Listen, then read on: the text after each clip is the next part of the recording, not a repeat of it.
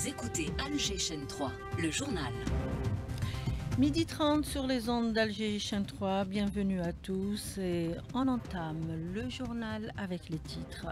Dans ce midi, un autre dossier à vous proposer. Il s'agit aujourd'hui d'énergie, les capacités de l'Algérie euh, pour faire face à tout imprévu ou situation d'urgence. Nous avons atteint un nouveau pic hier sans pour autant ressentir les conséquences. On vous expliquera pourquoi. ADL3, le nombre d'inscrits en constante augmentation. La plateforme reste très sollicitée par les souscripteurs au 11e jour de son lancement. Vous écouterez ceux qui ont réussi à s'inscrire et ceux qui attendent avec un rappel des principales conditions d'éligibilité. Pour améliorer le cadre de vie des citoyens, il est notamment préconisé de réduire les disparités régionales et sociales, une priorité des autorités qui passerait d'abord par la décentralisation. SNTF, une carte verte à la disposition des passagers de train de banlieue. Ils ont droit à jusqu'à 50% de réduction pendant l'été. C'est pas négligeable. La carte offre plusieurs autres avantages à découvrir dans quelques instants. Raza, toujours d'actualité, 283e jour de guerre sans merci, mené farouchement par l'armée sioniste, les Razaouis sans défense face à la mort, gérer la famine, lieu de refuge et les détritus qui jonchent les rues, synonyme de plusieurs maladies. La Syrie voisine de la Palestine historique, visée également régulièrement par les tirs sionistes, elle vote aujourd'hui des législatives organisées pour la quatrième fois depuis le début de la guerre en 2011. On vote également pour la présidentielle au Rwanda, mais aussi pour les législatives de scrutin couplés pour la première fois dans ce pays où plus de 9 millions d'électeurs sont appelés aux urnes. Et on terminera en fait avec les bijoux d'Atienni rapprochés à mercredi prochain. Elle reste l'une des manifestations culturelles et commerciales qui drainent beaucoup de monde, toujours à la recherche de créativité, de nouveautés, des bijoux artisanaux.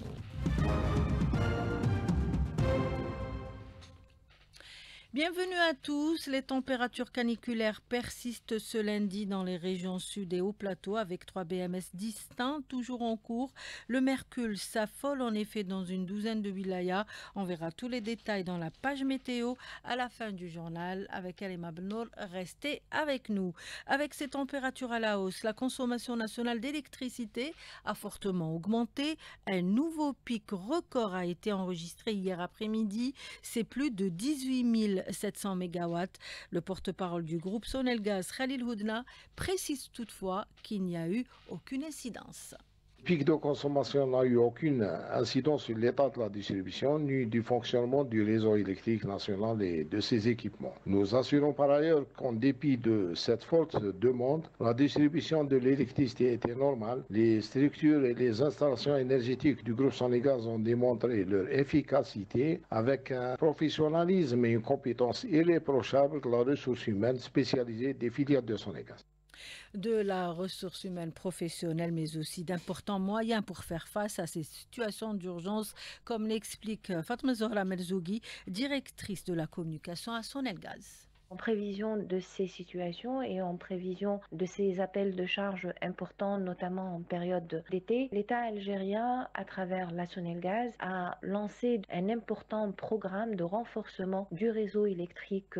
national qui aujourd'hui nous permet de disposer d'une puissance installée qui dépasse les 25 000 MW et qui dépasse de loin les pics de consommation enregistrés. Donc au vu de cette puissance dont dispose la Sonelgaz, nous répondant avec beaucoup d'aisance euh, aux besoins locaux en matière d'électricité, même en période de pic. Et avec ses capacités de production assez considérables, l'Algérie exporte de l'électricité vers euh, ses pays euh, voisins africains, notamment tunisiens. Il s'agit de l'excédent qui est mis sur le marché international, notamment africain, comme l'explique Fatma Zohra Melzougi, directrice de la communication à Sonelgaz. Nous exportons déjà de l'électricité vers la Tunisie, une exportation qui, même en période de pic, a continué. Donc Sonelgaz a respecté ses engagements contractuels avec la Société tunisienne de l'électricité et du gaz. Nous sommes en train de développer l'interconnexion entre nous et la Tunisie pour augmenter les échanges en matière d'électricité et d'aller vers l'exportation de l'électricité également vers des interconnexions qui vont être développées avec euh, la Libye. Et ce confort énergétique dont dispose l'Algérie n'est pas le fort de certains pays où de sérieux problèmes d'approvisionnement sont posés avec acuité actuellement, Nariman Mendil. Des délestages annoncés ou enregistrés dans plusieurs pays, pour certains ils sont carrément programmés. Des populations privées de courant durant ces grandes chaleurs, les raisons diffèrent d'un pays à un autre, affirme Barded Mendouche, expert en énergie. Par exemple, pour l'Afrique du Sud, c'est dû à une mauvaise gestion du réseau. Il y a aussi des vols de câbles de cuivre. Pour l'Égypte, cet été, il y a eu une insuffisance de production de gaz qui a conduit à une insuffisance d'alimentation des centrales électriques et également il y a eu cet été une chaleur intense au niveau de tout le Moyen-Orient euh, qui a impacté les réseaux électriques et donc qui a contraint les gestionnaires de ces réseaux électriques à réaliser des coupures d'électricité pour éviter des incendies, etc. Dans notre continent, en dépit des importantes ressources, l'Afrique compte 500 millions de foyers qui ne sont pas raccordés au réseau électrique. Par manque de financement, beaucoup de pays africains butent à développer des infrastructures, notamment des centrales à gaz qui produisent de l'électricité et également la construction de réseaux de transport et de distribution. La situation pourrait cependant changer au niveau continental. L'Afrique a décidé de prendre son destin en main, assure Barded Mendouche. La mise en place récente de la Banque africaine de l'énergie, dont l'Algérie est membre et actionnaire, devrait dans le futur se pencher sur cette question de financement et développer les richesses qui existent. Des réseaux électriques sous haute tension dans plusieurs pays des investissements supplémentaires sont nécessaires pour éviter les coupures d'électricité à des millions de foyers. Et en matière d'habitat, justement, le raccordement chez nous est important. Même les nouvelles cités comme l'ADL sont dotées du nécessaire avant d'être livrées, ce qui nous amène euh, maintenant à évoquer l'ADL 3, le dernier chiffre concernant le nombre d'inscrits à travers tout le territoire national, arrêté hier à 18h, s'élève à plus d'un million trois cent mille souscripteurs. La plateforme reste ouverte au 11e jour de son lancement. Les intéressés devraient s'armer. Un peu de patience, une question de temps puisque le site est très sollicité, Sophia Boukerchar. Le site et l'application de l'AADL continuent d'attirer un nombre impressionnant de souscripteurs. À ce jour, plus de 1 300 000 se sont inscrits, témoignant d'un engouement sans précédent pour ce programme de logement. Troisième jour, je vais à mon PC pendant la pause déj au travail, rafraîchir euh, chaque 10 secondes. Et finalement, ça a marché. Donc j'étais très contente de recevoir euh, euh, et j'espère que ça arrivera à tout le monde.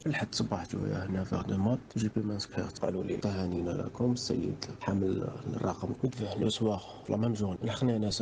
J'ai pu sur, sur l'application, en fait, après plusieurs tentatives. Le soir euh, où je me suis inscrit, j'ai reçu vers 21h euh, le message de confirmation de l'inscription, donc euh, via SMS, numéro de téléphone D'autres ne se laissent pas décourager, comme Selma, qui poursuit ses efforts avec détermination pour atteindre son objectif. Depuis qu'ils ont annoncé l'ouverture euh, du site, j'essaye jour et nuit de 8h du matin jusqu'à 18h. J'actualise jusqu'à présent rien, je n'arrive pas à m'inscrire. Je connais d'autres gens, ils ont pu s'inscrire malgré tout. Je perds pas espoir. Inch'Allah, ça finira par euh, s'arranger. Rappelons que pour être accepté au programme de l'ADL, les souscripteurs doivent remplir plusieurs conditions, dont ne pas être propriétaire d'un bien immobilier, de ne pas avoir bénéficié d'une aide de l'État pour ou la construction d'un logement et que les revenus de la famille soient d'au moins 24 000 dinars.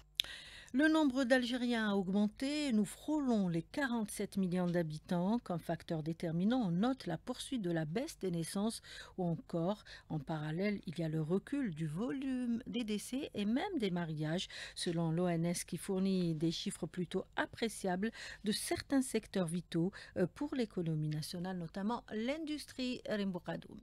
Le secteur de l'industrie en Algérie a connu un rebond. Les chiffres annoncés par l'ONS sont prometteurs. L'industrie agroalimentaire enregistre une croissance de 10,7%, le textile plus de 25% au premier trimestre 2024. Le secteur public, quant à lui, enregistre une croissance de 6,3%. La production industrielle du même secteur a connu une hausse de plus de 3%. Ceci grâce à la relance de plusieurs projets, la politique d'industrialisation adoptée par l'Algérie, la valorisation de la production nationale et l'encouragement des partenariats. En ce qui concerne le secteur de l'énergie, le fleuron de l'économie nationale enregistre une variation de 2,9% au premier trimestre 2024, dû entre autres à la baisse des activités économiques mondiales. Le secteur des mines et carrières, quant à lui, a connu une nette progression due principalement à la hausse de la production de l'activité de l'extraction de pierres et sable estimée à 19% contre une baisse de 3,2% en 2023. L'extraction du minerai de phosphate affiche une croissance de plus de 10% contre 5,3% à la même période de l'année précédente. L'industrie des matériaux de construction a vu son activité rebondir de nouveau pour atteindre les 7,9%.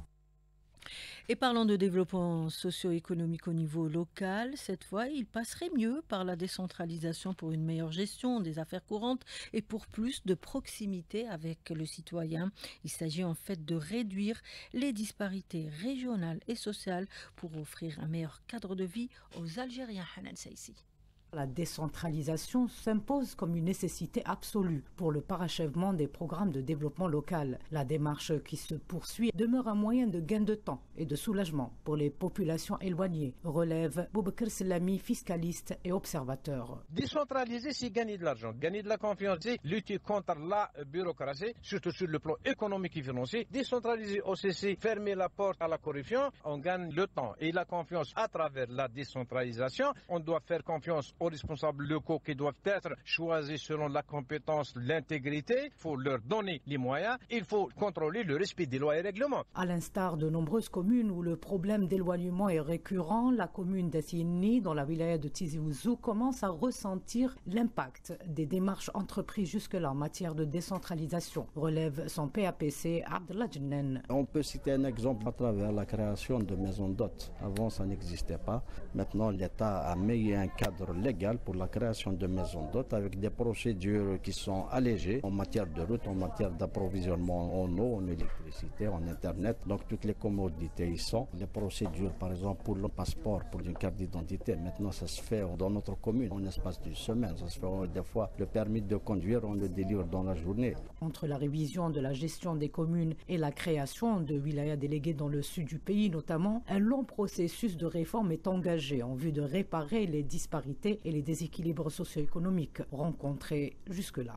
Et pour les projets de développement des zones frontalières, nombreux ont été identifiés par les élus locaux qui se sont réunis pour faire le point à Sokaras, d'où nous avons la correspondance de Cedra Boraoui. Une réunion de travail s'est tenue au niveau de la wilaya et ont regroupé plusieurs intervenants locaux concernés par le développement au niveau des communes frontalières, afin d'enrichir et actualiser les projets destinés à ces zones. Plus de détails avec Assid Rabah, directeur des grands travaux de l'aménagement du territoire au niveau du ministère de l'Intérieur qu'on écoute. Première phase, c'est le diagnostic stratégique. À travers ce diagnostic, on a pu déjà faire ressortir des grandes orientations pour le développement de cette zone. Suite à ça, on a élaboré le plan programme qui est traduit en projet. Il y a deux types de projets. Il y a ce qu'on appelle les projets structurants intégrateurs. On a proposé 14 projets et plus de 300 projets socio-économiques au niveau de la wilaya de Sok. On a identifié les projets qui vont participer au développement de ces cinq communes frontalières. Tous ces projets, on doit les adosser à des schémas de financement. On doit préciser quelle est la source de financement et par la suite, on va transmettre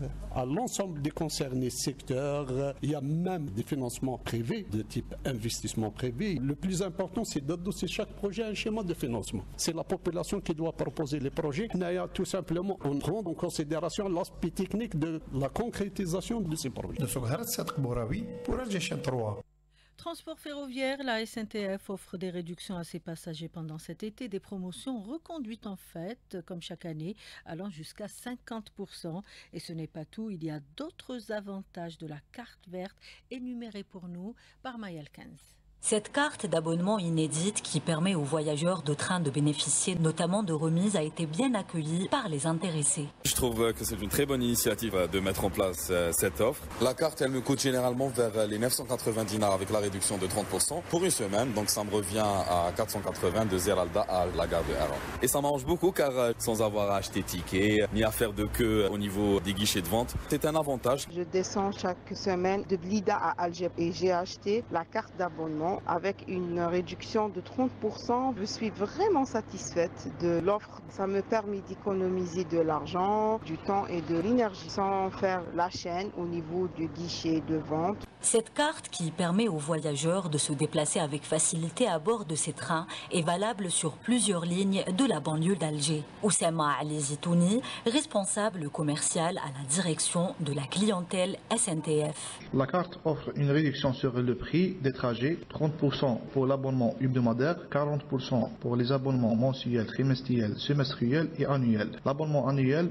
peut être payé en trois versements. Le prix de l'abonnement hebdomadaire de la carte verte sur la ligne Aga Zeralda, c'est 470 dinars. Aga Tizi c'est 1025 dinars. Alger Tnia, c'est 520 dinars. Alger Lafron, c'est 675 dinars. Quant à l'abonnement mensuel, Aga Zeralda, 1675 dinars. Aga Tizi Ouzou, 3860 dinars. Alger Tnia, 1970 dinars. Alger Lafron, c'est 2540 dinars. Cette carte verte qui intéresse surtout les personnes qui prennent le train régulièrement leur offre plusieurs avantages outre l'aspect financier qui permet donc une économie sur les frais de transport. Elle leur garantit aussi une économie de temps en leur évitant la file d'attente devant les guichets pour l'achat du billet. 12h46 minutes sur les ondes d'Alger Chien 3. On passe à l'actualité à l'étranger. Raza, toujours d'actualité, 283e jour de guerre, le pire qu'ait connu sans doute l'humanité. Elle est subie par les Razaouis. Encore des quartiers entiers rasés au bulldozer, ce qui reste des habitations et des écoles où se réfugient les familles bombardées. D'effroyables massacres sont commis même dans les hôpitaux, lieux de culte et clubs sportifs, puisqu'on a appris aujourd'hui que 300 athlètes y ont péri depuis le début et 14 000 enfants. L'ampleur du nettoyage ethnique s'intensifie chaque jour avec comme dernier bilan plus de 38 600 martyrs tués par l'armée sioniste depuis 10 mois. Génocide, famine et maladies, catastrophes humanitaires sans précédent aggravées par des maladies dues aux amas d'ordures qui jonchent les rues de Raza. Le témoignage de Faten Tourabi, journaliste euh, palestinien contacté par Kalima Benour. Les déchets qui s'accumulent et les eaux usées menacent la santé publique dans la bande de Raza. Près d'un demi-million de tonnes de déchets se sont entassés partout, ce qui a provoqué les épidémies de manière incroyable. Et la bande de Raza est devenue invivable, menaçant ainsi la vie des gens. Les déchets encerclent même les tentes, réduisant les espaces où les déplacés peuvent installer leurs tentes et y vivre. Le Norrois a lancé un cri d'alarme car la situation est horrible et demande aux organisations internationales d'agir rapidement pour sauver les civils et obliger l'entité sioniste à ouvrir les points de passage et permettre le flux d'aide, surtout le carburant pour remettre en marche les machines qui évacuent les ordures. Les électeurs syriens élisent leurs députés au Majlis Echab, le Parlement syrien. Aujourd'hui, c'est le quatrième scrutin du genre depuis le début de la guerre en 2011. 1516 candidats en liste pour 250 sièges à l'Assemblée populaire syrienne. Les candidats sont généralement affiliés à divers partis politiques, la majorité d'entre eux représentant le parti Bert au pouvoir et ses alliés. Ces élections sans grand suspense donc et qui permettent de prendre conscience du morcellement de la Syrie dans le viseur des puissances occidentales mais surtout de l'entité sioniste, comme nous le dit le politologue Jacques-Marie Bourget. Il est contacté par la Béa Slimani.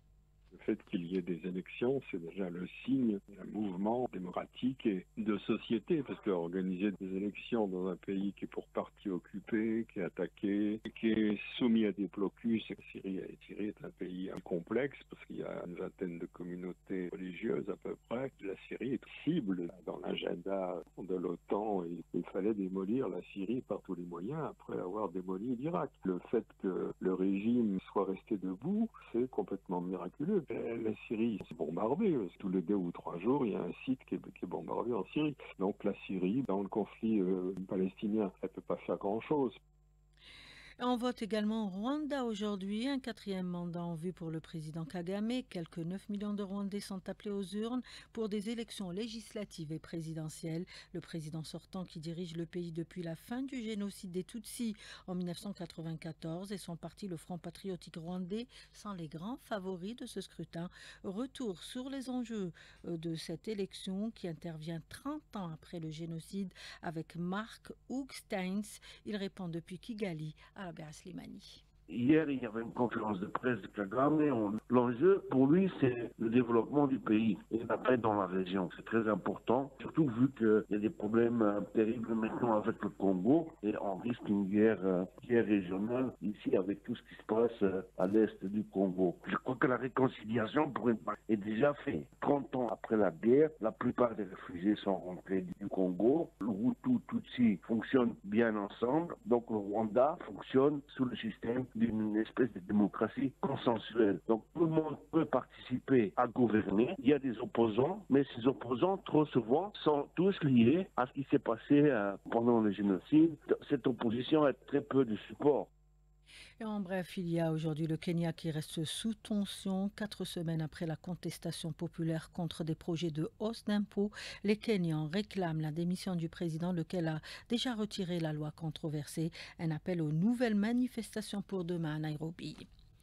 Retour chez nous pour parler bijoux, bijoux artisanal avec la fête d'Etienne qui revient cette année un peu plus tôt que prévu. Elle est avancée à ce mercredi 18, février, 18 juillet, une 18e édition qui va sans doute drainer du monde comme les précédentes. Elle reste une opportunité pour les artisans bijoutiers de mettre en avant leurs nouvelles créations, comme le souligne Abdallah Jnnen, PAPC d'Etienne. Il s'exprime au micro de Hanan Saïsi. En matière de participation, on a enregistré jusqu'à présent 136 artisans. Donc parmi ces 136 artisans, on a enregistré 109 artisans bijoutiers de Benyeni. Et les 27 autres artisans, ils représentent à peu près tous les artisanats, que ce soit la poterie, que ce soit la robe kabyle, que ce soit la vannerie, que ce soit la sculpture sur bois. Donc il y a des gens qui nous sont venus de différents horizons, des différents wilayas de l'Algérie. Cette année, le problème, c'est que les artisans bijoutiers de Benyeni souffrent beaucoup de manque de matières premières. Ce sera l'occasion aussi pour nous de, lancer un appel pour les pouvoirs publics pour se pencher et trouver une solution pérenne pour le, le problème d'approvisionnement en matières premières. Et on reparle sport avec vous, Rostom Yahya Sherif, essentiellement foot et d'abord l'Euro 2024. Et l'Espagne qui est, qui est entrée dans l'histoire hier soir de l'Euro en étant la première nation à obtenir un quatrième sacre continental, brisant le rêve de l'Angleterre. Battu 2 à 1 et toujours sans trophée après 58 ans d'attente. Le héros de la partie aura été l'Espagnol Mikel Oyarzabal, entré en cours de jeu, auteur du but de la victoire à la 86e minute, alors que les deux équipes étaient à égalité après l'ouverture du score de Nico Williams à la 47e minute pour l'Espagne. Puis le but anglais signé Cole Palmer à la 74e minute. Le joueur de la Real Sociedad a propulsé les siens au paradis.